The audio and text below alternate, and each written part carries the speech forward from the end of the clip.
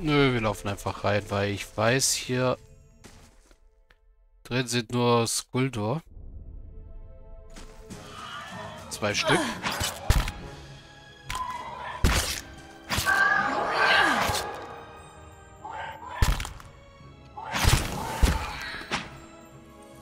So. Ja, Kalisha verliert langsam echt Leben.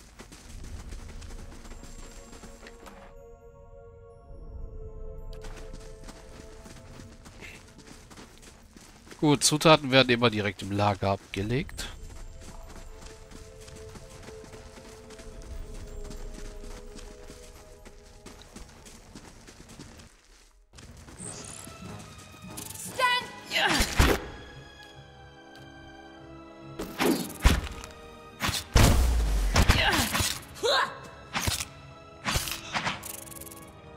So.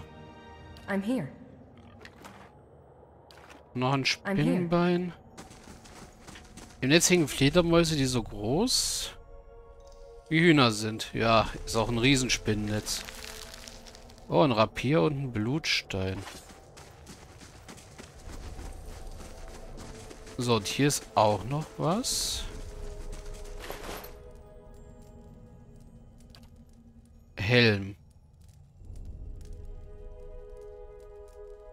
Der Helm bringt nicht viel, also nehmen wir ihn einfach nur so mit und das sind eh Zutaten.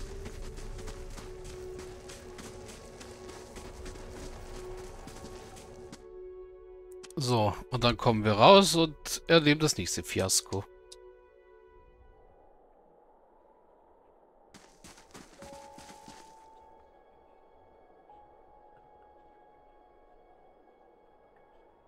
Älterer Robenträger. Die Silhouette von vier Gestalten stehen vor, einer vor einem überweltlichen Apparat, einer uralten Struktur aus gebeißtem Adra mit metallischen Adern.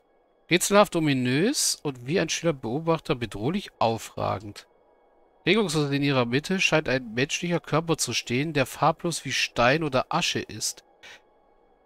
Die anderen Gestalten scheinen sie fast besinnlich anzusehen. An deinem Beobachtungspunkt kannst du von ihnen nicht gesehen werden. Die Gestalt, die der Maschine am nächsten ist, sticht heraus. Es ist ein Mann, ein dichter grauer Bart umrahmt ein Gesicht, das ansonsten unter einer metallischen Maske verborgen liegt. Seine verblichene Robe ist mit einer Runensprache bestickt, wie du sie noch nie zuvor gesehen hast. Er trägt eine eigenartige schwarze Kopfbedeckung, aus der zwei Verzierungen herausragen, wie die Flügel einer bösartigen Kreatur. Oathbinder, bear witness, and see this man has kept his word true to his last breath, full to his blood's last drop. Guide his soul, queen that was, and regard it among your favored. Let his life by the key be his confession. Let his death by the key be his absolution. May he walk the world ever free of the crushing weight. Er wendet sich an den versteinerten Körper. Eidbinder legen Zeugnis ab und sehen, dass dieser Mann sein Wort gehalten hat und sich bis zu seinem letzten Atemzug und zu seinem letzten Blutstropfen treu geblieben ist. Königin, die gewesen war, leite seine Seele und erachte sie als eine deiner Liebsten. Lass sein Leben nach dem Schlüssel sein Geständnis sein. Lass sein Sterben nach dem Schlüssel seine Erlösung sein. Möge er ohne das erdrückende Gewicht des Buches auf der Welt wandeln.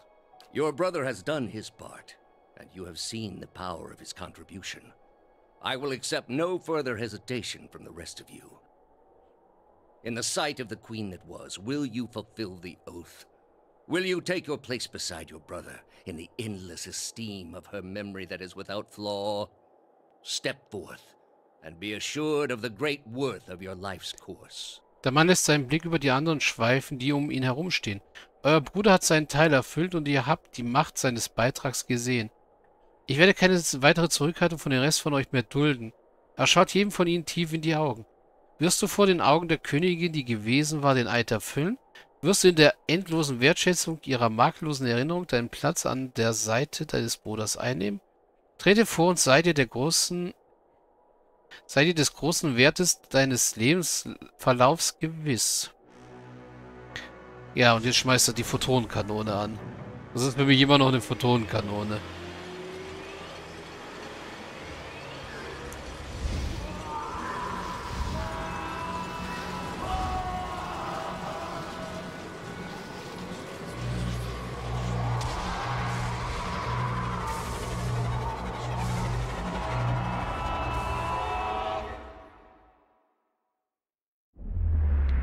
Einen Augenblick lang verstummt der Apparat und die Luft steht still.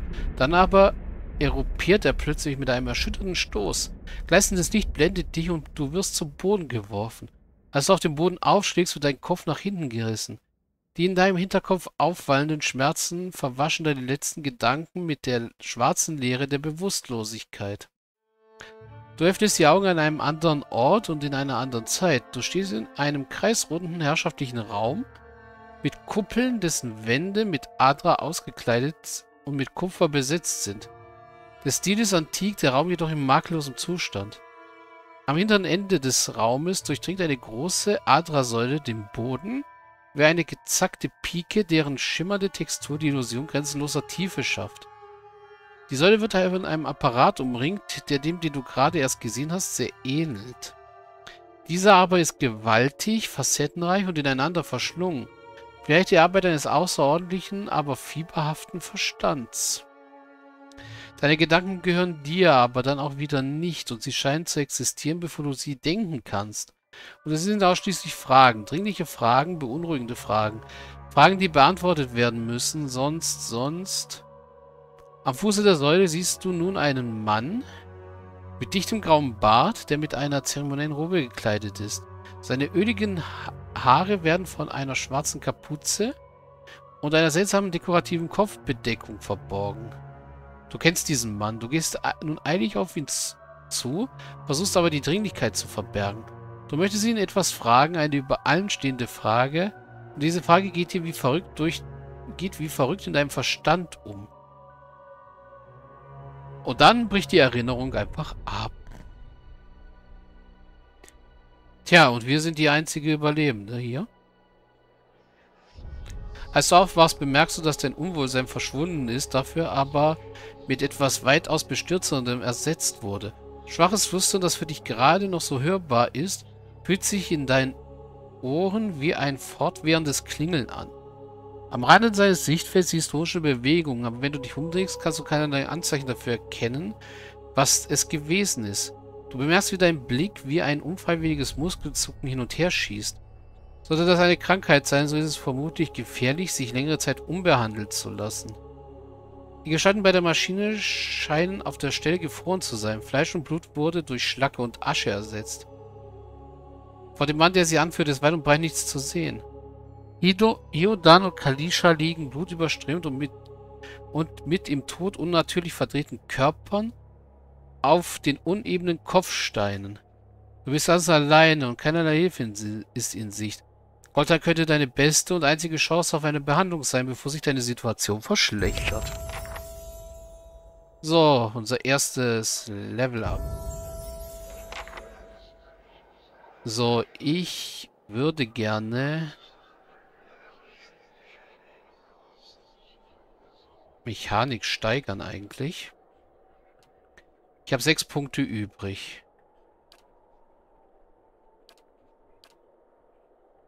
Also gebe ich zwei Punkte, was eigentlich drei Punkte sind in Mechanik. Äh, einen in Überleben und Athletik jeweils und den letzten behalte ich mal. Brauche ich Wissen? Äh, Wissen brauche ich nicht so unbedingt, aber Athletik für die Ausdauerreserve und so. Und Überleben halt für die Sachen hier. Heilungsmultiplikator, Bonusbewegung, Genauigkeitsbonus gegen Kreaturen.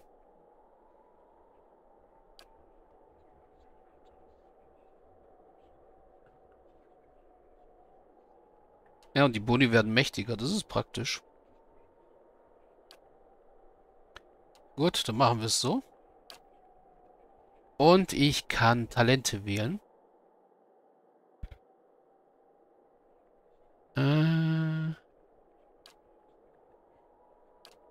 Klasse. Ich könnte größeres Hand auflegen, unbelasteter Glaube. Tiefer Glaube.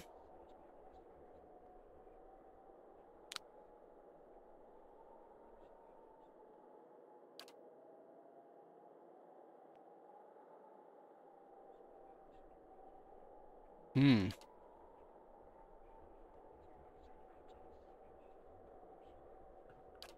Die Ansichten des Partys werden mehr als nur die Summe seiner Handlungen, wodurch Reputation negiert wird, die sich negativ auf Glaube und Überzeugung auswirken.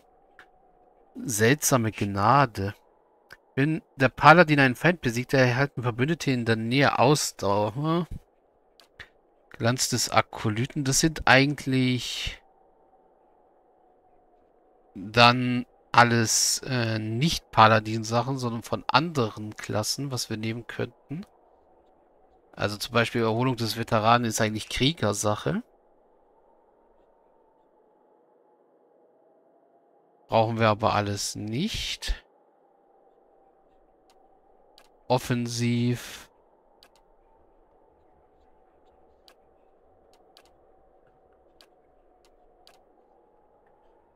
Waffenschwerpunkt Abenteurer. Mordax, Panzerbrecher, Streitwege, Zauberstab. Ich will eigentlich... Streitax, Schwert, Morgenstern, Armbrust. Mhm. Dolch, Rapier, Streitkolben, Zepter, Stab. Beil, Speer, Kampfstab, Jagdbogen. Mhm. Raufbold, Säbel, Stilett, Keule, Pistole, Tonnerbüchse. Soldat, Zweihänder, Pike, Kriegshammer, Abalest, Akebuse. Eigentlich eher am ehesten Ritter. Wo ist eigentlich der Panzerbrecher? Ah, hier beim Abenteurer. Aber nee, ich nehme Ritter. Ich möchte dann doch lieber mit Schwert und Schild bewaffnet sein, als mit dem Panzerbrecher.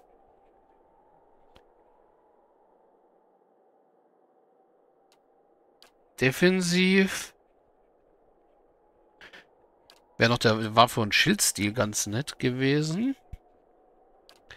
Und Unterstützung, naja, Feldlazarett.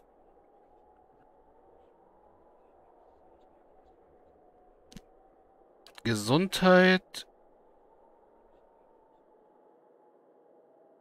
Das hier ist etwas, was ich für die Frontlinie halt irgendwann brauchen werde, dass wir nicht so oft rasten müssen. Also nicht öfter, als es gut für uns ist. Äh,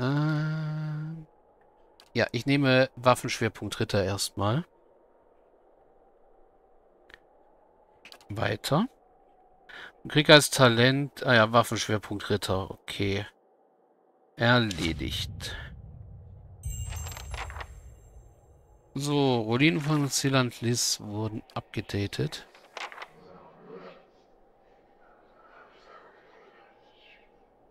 Als du aus den Ruinen herauskamst, sahst du ein merkwürdiges Ritual an einer Art uralter Maschine. Dort gab es, dort gab ein Mann anderen beteiligten Befehle und irgendetwas an ihm fandest du merkwürdig. Als er ging, begann die Maschine zu rotieren und dabei eine Art Energie zu erzeugen. Da gab es eine Explosion, die sich wie der Sturm anfühlte, den du zuvor erlebt hattest. Die anderen, die bei dem Mann gewesen waren, waren dadurch in Asche verwandelt. Und auch Heodan und Kalisha überlebten nicht. Durch die Explosion wurdest du bewusst, so dass du wieder erwachtest, fühltest du dich eigenartig. Du hattest Illusionen, du hattest Stimmen, du verließt die Ruinen, um zu Fuß nach Goldtal zu gelangen, wo sich hoffentlich jemand finden würde, der dich heilen könnte. Aha, Ruinen von Silandlis abgeschlossen, ja. Ich werde einen Weg finden müssen. Ich habe einen Abschnitt mit Fliesen erreicht, auf denen sich seltsame Symbole befinden. Vielleicht gibt es in der Nähe Hinweise für ihre Bedeutung. Ich bin dem merkwürdigen tödlichen Wind, der durch das Tal gewütet hat, knapp entkommen. Jetzt aber bin ich in den uralten Ruinen gefangen, vor denen uns der Karawanenmeister deutlich gewarnt hat. Ich bin aus den Ruinen entkommen. Hoffentlich kann ich irgendwo hier die Straße finden und den Weg nach Goldtal. Nachdem ich eine, Ex also wie so ein Geflüster, nachdem ich eine Explosion außerhalb der Ruinen Zilantlis überlebt hatte, hatte ich eine Vision. Seit dieser Zeit höre ich Geräusche aus dem Nichts und sehe Dinge, die nicht da sind. Das ist nicht die Krankheit, die mich beim Wagen befallen hatte. Es ist etwas Neues, vielleicht ein Laien des Verstandes. Mit etwas Glück ist im Goldtag jemand, der weiß, was zu tun ist. Also ja, das hier kommt jetzt alles erst einmal in die Kiste. Und dann speichern wir auch mal, weil es wird Zeit. So, let's play 001. Speichern. Und dann sehen wir uns gleich wieder.